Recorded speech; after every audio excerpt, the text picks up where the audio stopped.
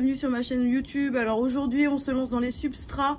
Euh, vous m'avez réclamé cette vidéo à cœur, à cri. Euh, vous vous êtes roulé par terre pour la voir cette vidéo, pour reprendre tous les substrats que je vous ai pondus sur cette dernière année 2020 et début d'année 2021. Parce que voilà, vous êtes arrivé euh, plus tard sur mon compte et donc du coup vous êtes tombé sur les substrats. Euh, et que voilà, vous avez du retard par rapport à ceux qui me suivent depuis le début et qui ont beaucoup plus de maîtrise là-dessus, forcément. Hein. donc du coup, on va faire un espèce de cours de rattrapage sur les substrats que je vous ai pondus en 2020. Alors, euh, on va commencer par la base qui est le substrat aracé classique. Donc celui-ci, c'est le substrat de base pour les grosses plantes, les plantes installées qui vont bien, qui va quasi à tout le monde, toutes les tropicales, elles adorent ce type de mélange. Donc là, je vais vous prendre un Anthurium Bakri. Alors, rigolez pas, j'ai des Oxalis Iron Cross partout, je sais. Depuis le début, j'en ai partout. J'y peux rien. Donc, du coup, le substrat aracé, il convient quasi à toutes les protes tropicales. Donc, c'est-à-dire que vous pouvez aller, du Dieffenbachia euh, au, euh, à la Glaonema, euh, au Yucca, euh, toutes, quasi toutes. Il a pas, je crois, il n'y a pas une seule qui n'aime pas le substrat aracé, peut-être à part le potostrobi euh, qui ne l'avait pas aimé. Je crois que j'ai dû passer en aracé intermédiaire, mais voilà.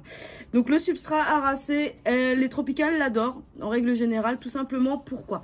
Parce que c'est un mélange qui est drainant, parce qu'il est à base euh, de tourbe que la tourbe, c'est une matière qui est très riche, hyper organique, qui a un taux d'acidité qui est hyper important pour ces plantes, puisqu'elles sont plutôt acidophiles.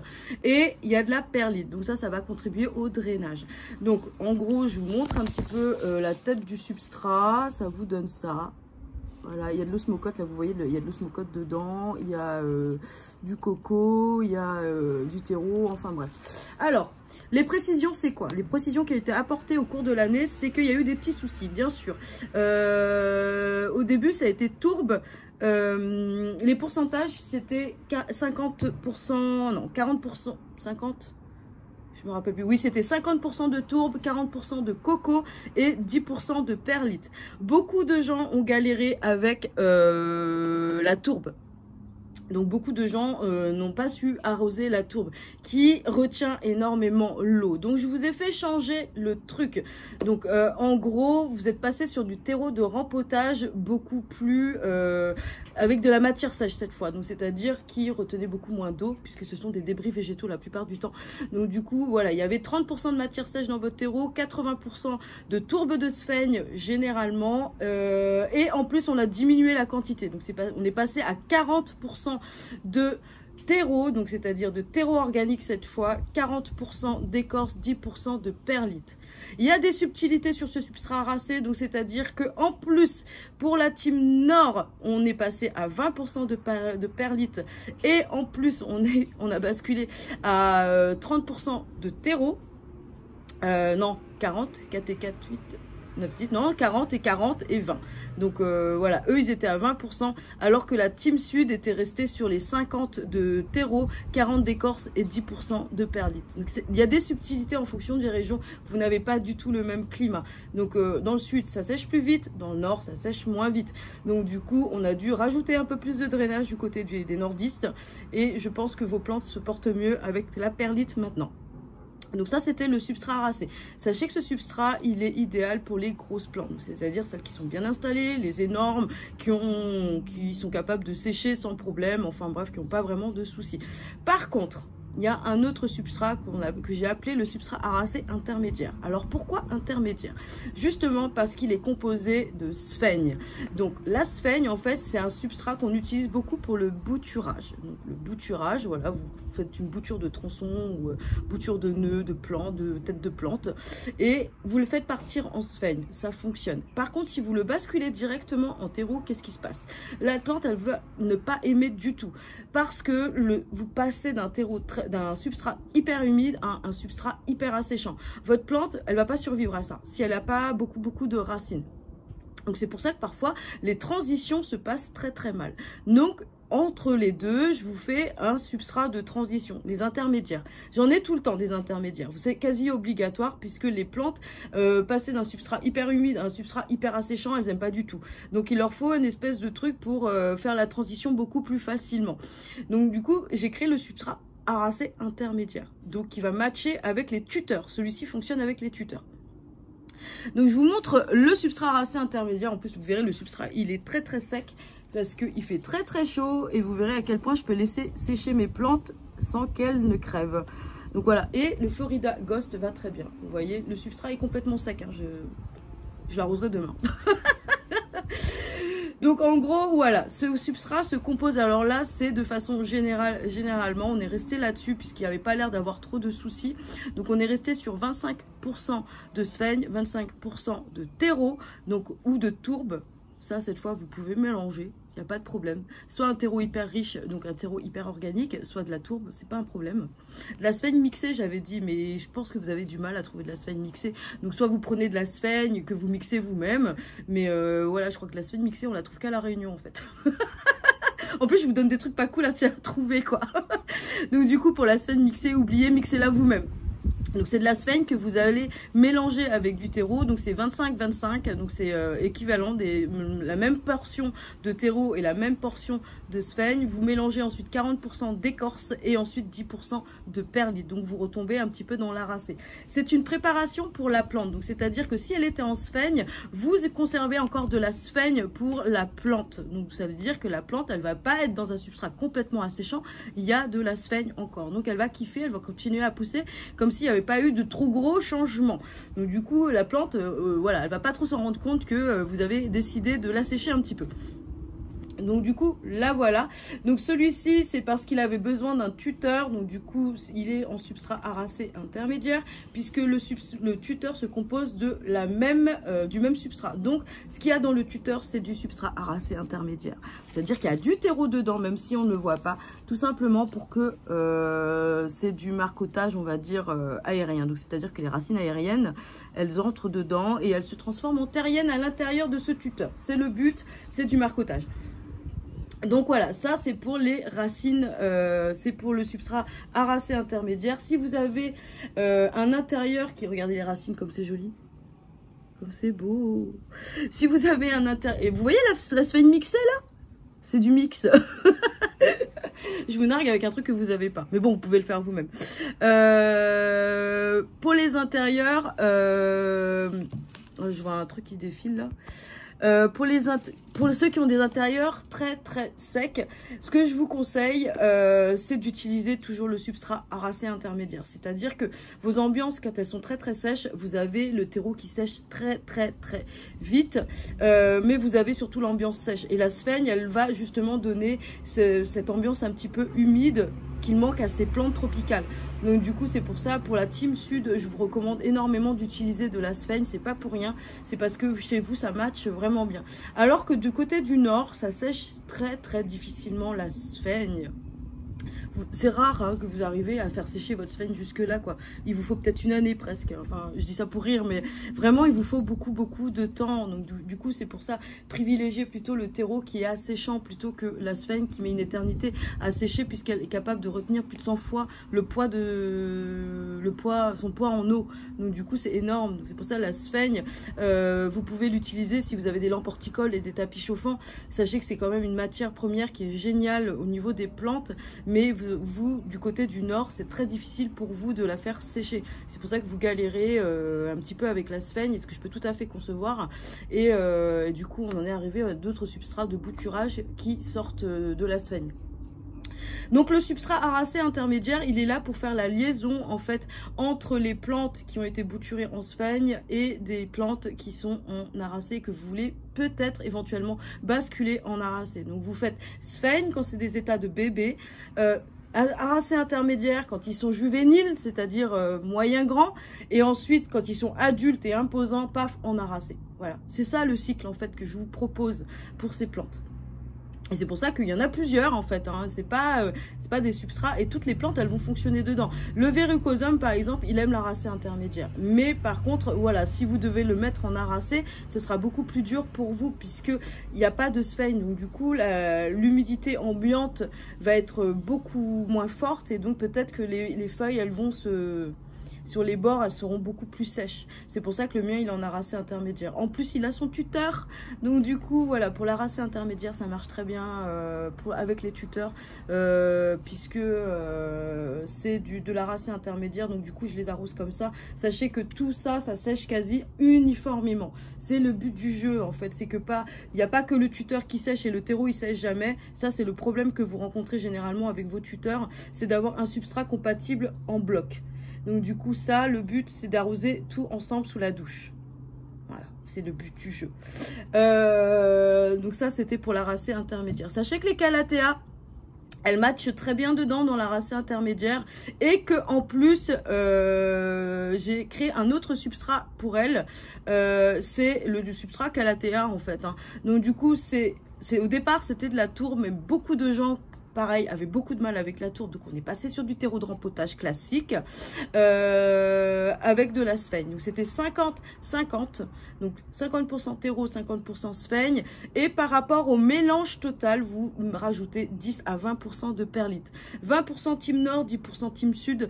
Voilà toujours l'histoire du drainage que vous devez augmenter en fonction de votre région. Donc euh, ça, a été fatal en fait. C'était beaucoup mieux, je crois, 20% dans le nord et 10% euh, dans le sud. Parce que ceux qui avaient essayé 20% dans le sud, les Calatea, elles avaient souvent la tête comme ça. quoi. Donc du coup, on était, on était redescendu à 10%. Donc pour la team sud, ce sera euh, les 10 et pour la team nord, ce sera les 20. Euh, et si vraiment vous avez déjà testé la race intermédiaire et que ça fonctionne très très bien chez vous, mettez-y vos Calatea, vous faites pas chier avec le mélange Calatea, rebasculez-les en, euh, en aracé intermédiaire. Voilà, sachez que c'est mon substrat un petit peu chouchou puisqu'il fonctionne quasi avec tout le monde, notamment les alocasia qui l'adorent, les syngoniums qui le kiffent, les anthuriums qui euh, sont en, béatitude complète devant, euh, devant le substrat racé intermédiaire. C'est un substrat qui marche quasi avec tout le monde. Ensuite, les substrats de bouturage. Alors, on en était à la perlite vermiculite que je vous ai. Présenté une petite vidéo sur la perlite vermiculite. Donc là, on a un fameux Regal Shield. Donc c'est un bébé Regal Shield qui a été. Euh, c'est un petit bulbe, hein, que, deux bulbes que j'ai planté là-dedans. Donc là, on a perlite vermiculite dedans. On voit bien les racines qui s'y développent. Euh, toujours un tiers de flotte dedans, voilà, donc là il y a un petit peu plus d'un tiers mais ça sèche tellement vite. Hein. Et donc du coup le voilà, il pousse, il n'y a pas de problème. Donc ça c'est le premier, ça c'est pour le bouturage des bulbes, des tronçons, tout ce que vous voulez, enfin même les réhabilitations, c'est-à-dire si vous voulez sauver une plante, vous pouvez faire la perlite vermiculite. Ça je vous l'ai dit, ça fonctionne du feu de Dieu, on, on, discute même plus de ses effets, tout le monde sait que ça marche. C'est pour les transitions après que j'ai dû vous sortir un deuxième intermédiaire on en est là. On est toujours en train de créer des intermédiaires pour que vos transitions se passent beaucoup mieux. Sachez que c'est de l'hydropassive, ça. Ça, c'est de l'hydropassive. Donc, la plante, elle boit à volonté. Elle, a soif, elle prend. Elle a soif, elle prend. Euh, je la laisse pas sécher, en fait. C'est-à-dire qu'elle est habituée à se servir au buffet. Donc, voilà. Là, c'est en mode flunch. Euh, là, quand elle va, on peut pas la basculer tout de suite en terreau, puisque, en fait, on voudrait d'abord lui faire comprendre que c'est fini le buffet.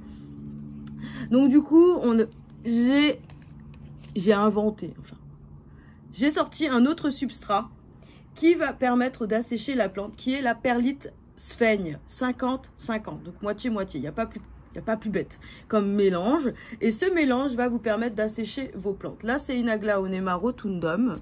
Donc euh, c'est une bouture que j'ai faite, que j'avais faite en perlite vermiculite et qui est là en euh, sur l'intermédiaire. Donc c'est-à-dire que là elle va bientôt basculer en terreau ou en aracée intermédiaire. Je sais pas, j'ai pas encore réfléchi à la question. Euh, mais là on voit bien ces racines qui se développent. Voilà. Donc le, elle n'a pas eu de traumatisme en fait puisque alors ce que vous voyez là les billes là c'est de la tourbe active. Hein. C'est des billes de tourbe en fait. Mais euh, vous n'êtes pas obligé de le mettre, ça c'est pas obligatoire. Euh, ça c'est voilà, ces racines, là on voit la sphaigne et on voit la perlite. Donc cet aglaonema qui a été bouturé en perlite vermiculite a ensuite été passé là dans ce mélange. Pourquoi? Parce qu'elle n'est plus en hydro elle n'a plus d'hydro du tout. Donc c'est-à-dire que là, je maintiens juste la sphène humide, ça lui suffit. Elle a une très bonne exposition, d'où ses jolies couleurs. Euh, et voilà, c'est le début de l'assèchement. Donc, c'est-à-dire que cette plante va apprendre à s'assécher naturellement euh, en fonction de son exposition et développer des racines adaptées à son mélange. Donc, c'est-à-dire qu'elle va vous faire de plus en plus de radicelles puisqu'elle a plus d'eau à volonté. Donc, elle va se dire, ouh, ouh, il faut que je pompe de l'eau là. Euh, il faut que j'aille en chercher là. Et donc du coup, elle va tirer ses racines un petit peu partout pour commencer à aller chercher de l'eau. Euh, vous le verrez, les plantes qui sont en eau, elles n'ont pas les mêmes racines, elles se développent pas pareil, elles sont un peu plus paresseuses, on va dire. Et là, c'est un petit peu euh, le cas de mes perlites vermiculites. Donc, le passage en euh, le buffet terminé, on bascule sur un truc beaucoup plus asséchant. Donc la perlite vermiculite elle sert à ça, à faire la transition entre les deux. Il y a certaines plantes que vous pouvez basculer aussi dedans en réhabilitation. Euh, je l'avais dit en story Instagram, c'est euh, moi je préfère les sucelles par exemple qui ont des attaques de sciaride. Je n'aime pas trop utiliser ce type de mélange puisque les mouches peuvent continuer à pendre dans la sphaigne. Donc c'est pour ça que lorsque vous avez une attaque de, de vous me demandez si vous pouvez faire perlite, vermi, euh, ça, sphaigne, perlite, je vous dis non souvent. Je vous dis non, perlite, vermiculite. Le minéral, c'est mieux. Et je vous évite la sphaigne pour le moment. C'est surtout pour essayer d'endiguer euh, les mouches qui sont en train de vous bouffer vos plantes. Donc du coup, celui-ci, vraiment, si vous avez des attaques de mouches et tout ça, il n'est pas top puisque vous gardez le substrat humide. Et donc du coup, ça peut être compliqué pour, euh, pour vos plantes. Elles ont des nuisibles en fait. Donc du coup, voilà, celui-ci à réserver uniquement si votre plante, elle est saine, si elle va bien, si elle a des jolies racines euh, et tout ça. Ensuite, la transition, c'est la racée intermédiaire ou la racée normale. Mais moi, je vous recommande de continuer à garder la sphaigne, c'est-à-dire basculer en aracée intermédiaire. Si vous savez que vous devez le tutorer, c'est que c'est une plante à tuteur, basculez-le en aracée intermédiaire et arrêtez-vous là. Donc c'est-à-dire que si vous savez tuteur, aracée intermédiaire. Si c'est une, plante de type comme celui-ci qui est un Anthurium bacri, donc c'est-à-dire que lui, il n'a pas besoin d'un tuteur, c'est de la racée. Voilà. Une Monstera a besoin d'un tuteur. Donc du coup, là, vous avez saisi, ce sera plutôt aracée intermédiaire. Les miennes sont en aracée intermédiaire toutes mes Monstera quasi, mes Syngonium aussi. Les a, celles qui sont en aracée classique, on va dire, c'est plutôt les rampantes type euh, le philodendron gloriosum, euh, tout ça parce que j'en ai plein. Et donc du coup, les, mes mamelles, une partie sont en aracée intermédiaire, une autre partie sont en aracée, enfin bref, il y a des mix, il y a des mélanges, euh, je m'amuse avec elles quoi en gros. Donc voilà, je pense que je vous ai parlé des principaux substrats que je vous ai pondus au cours de l'année. Il y en a plein d'autres puisque je vous ai sorti 50% terreau, 50% pouzzolane. J'ai eu des soucis avec, je trouve que ça attire un petit peu trop les mouches de terreau. Donc du coup, euh, j'avais dit ouais bon c'est pas mal, ça marche, mais il faudra pailler. C'est-à-dire qu'il faudra utiliser du substrat technique d'aquarium sur le dessus pour pailler. C'est du substrat pour plantes d'aquarium. Du coup moi j'utilise ça et pas de sable. Euh, c'est pas très bon pour les racines des aracées, mais c'est possible sur les, succulentes mais pas sur les aracées. Vraiment, elles aiment pas, elles aiment pas vous les asphyxier en fait. C'est vraiment, ça vient boucher les, les, leur système de respiration en fait. Et donc du coup, c'est tellement fin que ça, ça les abîme en fait et donc du coup vous les asphyxiez à petit feu euh, donc en gros c'est comme si je vous mettais un sac sur la tête je le fermais et ensuite je faisais juste un petit trou pour respirer voilà au bout d'un moment vous allez finir étouffé quand même même si je vous ai fait un petit trou pour respirer donc c'est un petit peu ça le système du sable euh, en paillage. Donc euh, choisissez plutôt des solutions où je sais que ça coûte beaucoup plus cher le substrat technique pour aquarium, mais mais voilà c'est beaucoup plus adapté puisque le pH est adapté euh, pour les plantes d'aquarium. Vous aurez un, pH plutôt acide aussi puisqu'elles aiment un petit peu les pH acides et c'est des, des, des, substrats techniques qui sont travaillés justement pour laisser passer l'oxygène et tout ça. Donc c'est des substrats qui sont travaillés pour faire respirer les plantes. Donc c'est pour ça que ça ne pose aucun problème lorsque lorsque vous arrosez votre plante que le substrat technique va dans le terreau. Donc c'est pour ça que ça, marche en fait, ce type de paillage. Voilà, sur ce, euh, je pense que la vidéo est assez longue. Je vous ai regroupé pas mal des substrats. Euh, le terreau pouzzolane, voilà, je vous en ai parlé. Il y a celui aussi pour les épiphyllums et tout ça. Ça, je vous en ai pas parlé, mais bon, on en reviendra une autre fois dessus. Sur ce, je vous fais des énormes bisous et je vous dis à bientôt pour la prochaine vidéo YouTube.